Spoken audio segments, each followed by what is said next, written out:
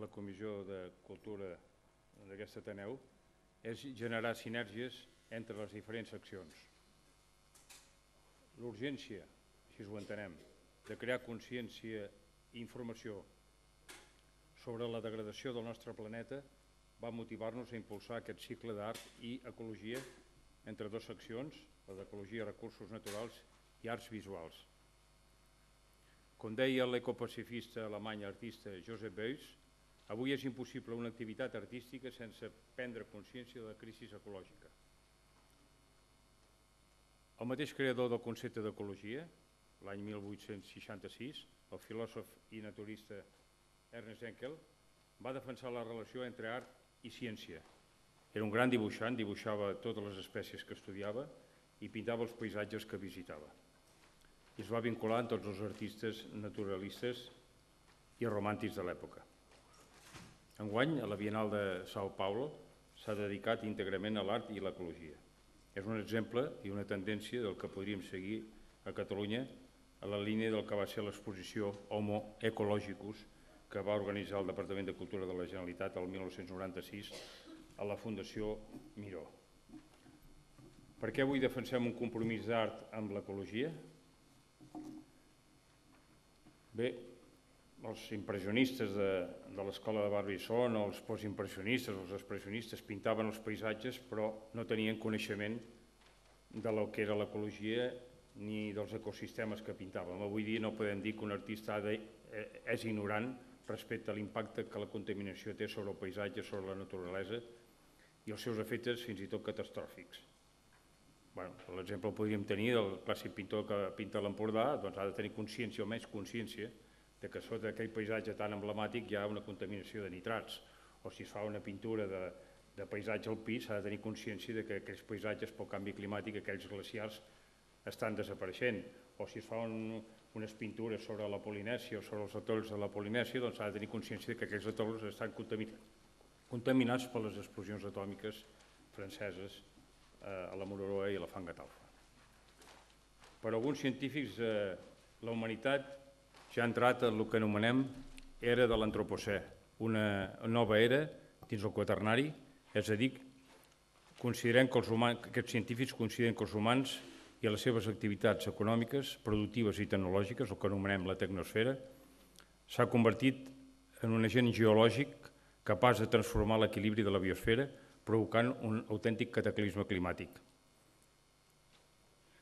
El que en altres eres havien ocasionat fenòmens naturals com la caiguda dels meteorits o, o les grans erupcions volcàniques. Avui l'home, amb la seva activitat econòmica, és capaç de provocar un cataclisme. Proposem, doncs, l'art de l'antropocè, una creativitat artística generalitzada que denuncia els perills ecològics globals que estem provocant al planeta. Pensem que artistes com el que veurem, com el gran cineasta Akira Kurosawa, per les emocions que generen com a artistes, poden ser tan o millors comunicadors que els propis científics. Ens agradarà que el nostre, el nostre cicle acabi amb un manifest subscrit per artistes dels països catalans en defensa de l'entorn a la línia del manifest que es va produir a la cimera de, de Rio de l'any 92. I ara cedeixo la paraula a la Bàrbara Maki, Marqui, perdó, adjunta de la secció d'Arts Visuals, que és la que porta el company amic Lluís Otrilla, perquè ens sintetitzi la visió que té de la seva secció del cicle que iniciem i que ens avanci potser alguns, alguns actes programats. I després els hi presentaré, si em permeten, la pel·lícula d'avui, Somnis, d'Akira Kurosawa. Tens la paraula.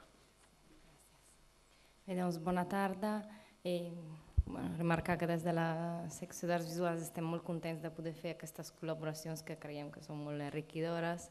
Evidentment el tema de la relació dels artistes amb la naturalesa és un tema inabastable, és enorme i sobretot mm, centrat en aquesta necessitat, de la, o sigui, en aquest aspecte de la conscienciació sobre el problema eh, no tant de la naturalesa com a apreciació estètica, sinó de, de les problemàtiques i de la seva fragilitat.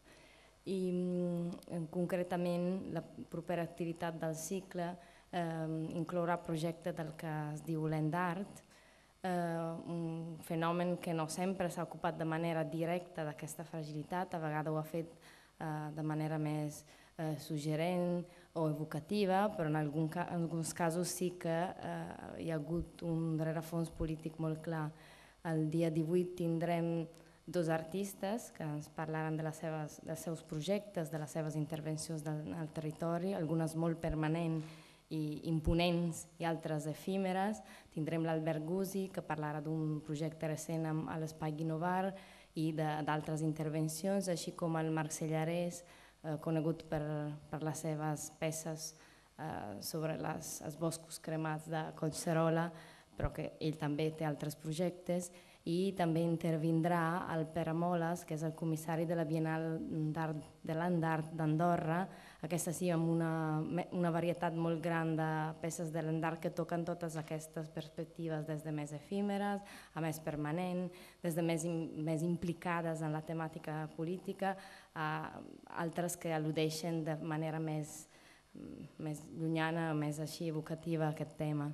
Bé, doncs deixo la paraula a a Santi Vilanova perquè presenti eh, la pel·lícula d'avui. Gràcies. Gràcies, Bàrbara. Molt amable, Bàrbara. Bé, per què hem escollit Somnis del cineasta japonès Akira Kurosawa per il·lustrar aquest cicle i per inaugurar Doncs perquè hem considerat que és un dels realitzadors que més ha insistit de forma extraordinària en el missatge d'interrelacionar l'art amb la consciència ecològica. De la seva llarga filmografia podíem haver escollit si el, els, els que esteu aquí, cinèfils, el coneixeu, doncs Dersu Sala. Què us he de dir d'Ersu Sala? Que descriu la relació animista d'un caçador de la taiga siberiana amb els elements naturals que l'envolten i que ens explica la destrucció d'aquest món natural i prehistòric pel món civilitzat. O també podíem haver presentat Rapsòdia d'agost, una de les darreres pel·lícules seves, que rememora l'impacte de la bomba atòmica sobre Nagasaki mitjançant la història d'una àvia, d'una Ivaskowska, eh, una supervivent de les bombes atòmiques eh, de, de Hiroshima i Nagasaki i la seva família. Però ens vàrem decidir per Somnis, per ser un dels films que la relació entre cinema i pintura està més estretament vinculada i sobretot per la passió que Kurosawa té pel color que si, aquesta, és una, aquesta és una visió que sintetitza en vuit somnis onírics i que són i explica la seva filosofia ecopacifista, antinuclear i holística del món. Aquests somnis destacarien el del món Fuji amb roig i l'ogre ploraner, que són alegories contra l'energia atòmica. El primer esdevé, com veureu, un somni clarament premonitori del que va succeir a Fukushima l'11 de març del 2011, amb les explosions i fusió dels nuclis de tres reactors nuclears. En el segon, l'ogre ploraner, Kurosawa, utilitza un oni, que és una criatura del folclor japonès, per denunciar les mutacions genètiques de la radioactivitat. En el somni Els Corps, Kurosawa entra en els paisatges d'un dels pintors que més admira, Vicenç Van Gogh, personatge que veureu interpretat pel director nord-americà Martin Scorsese. La integració de l'home en el paisatge i la pintura que el representa no pot fer-se més evident i emotiva. Recordem també que Van Gogh va estar molt influenciat per les xilografies japoneses, com molts pintors impressionistes francesos, i també eh, músics i escriptors. Estic pensant en Pierre Loti, músics com Puccini, que va tenir aquest, aquest japonesisme va, va entrar molt en el món occidental, a l'ara occidental.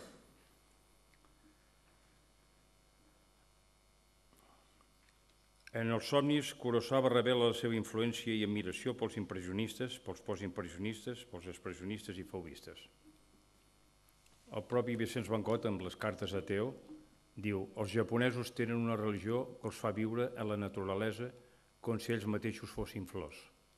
El seu art ens retorna a la naturalesa, malgrat la nostra educació i el nostre treball en un món convencional. En tots els vuit somnis, la mirada de Kurosawa està impregnada de cultura apresa, de cinema, de pintura, de literatura i de teatre.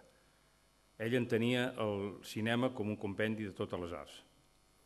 I Kurosawa donava al color la mateixa importància que el muntatge, el guió i el so. El color, com veurem en els vuit somnis, reforça el dramatisme, el, el, el sentiment de pànic, la por, l'odi, l'amor, la joia de viure – de forma que existeix una simbiosi entre el color que utilitza i la situació anímica dels personatges. Jo tinc la impressió cada cop que veig aquesta pel·lícula, Somnis, que Kurosawa actua com un director d'orquestra en la que els músics, són els, les, els músics són les tonalitats de colors de la seva pròpia paleta. Bé, breument, Kurosawa va néixer el 23 de març del 1910 en un barri de Shinagawa, de, de Tòquio, i va morir el, als 88 anys, eh, també en un barri de, de Tòquio. Era el sèptim fill d'un matrimoni que tenia descendents en eh, antics samurais.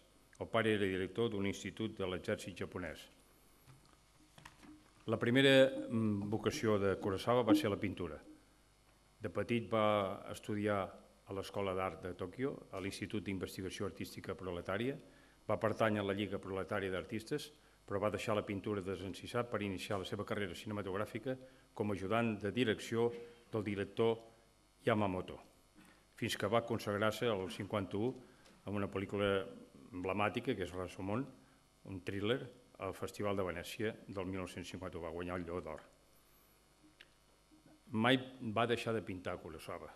Era un gran artista i ha deixat un, un llegat extraordinari, sobretot de storyboards, és a dir, de, de vinyetes i esbossos fets en pastel, llapis, tinta, aquarela. Eh, els que heu tingut ocasió de veure-ho, es pot veure per internet, eh, són extraordinàries. I sobretot aquesta pel·lícula Somnis.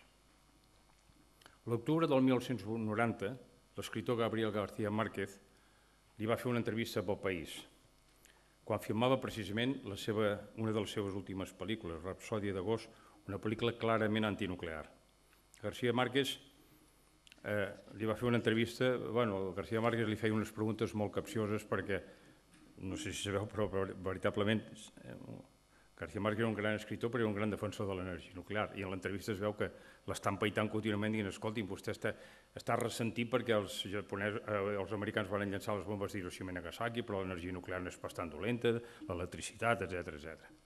Kurosawa va dir Oficialment es va publicar que el, no, el nombre total de morts a Hiroshima i Nagasaki va ser 230.000, però en realitat varen haver-hi més de mig milió de morts. I encara hi ha 2.700 persones a l'Hospital de la Bomba Atòmica esperant morir per les seqüeles de les radiacions després de 45 anys d'agonia. És a dir, la bomba atòmica segueix matant a japonesos. Eh, a García Márquez li diu vostè no està, vostè no està condemnant l'energia nuclear per si mateixa, sinó pel mal ús que s'hi ha donat des d'un bon principi. L'electricitat segueix sent bona per tothom, tot i la cadira elèctrica, fa la broma, no? I a resposta de Kurosawa, jo penso que l'energia nuclear està fora de les possibilitats de control que pot establir l'ésser humà. En el cas de que cometés un error, es cometés un error en el maneig de l'energia nuclear, el desastre immediat seria immens i la radioactivitat romandria per centenars de generacions. Jo era un jove periodista, quan diuen altres, altres respostes, jo era un jove periodista quan van llançar les bombes atòmiques i volia escriure articles sobre el que va passar, però les forces americanes que van ocupar el país durant sis anys ho varen prohibir. Varen influir sobre els mitjans d'informació per acabar per intentar accelerar l'oblit amb la col·laboració del propi govern japonès.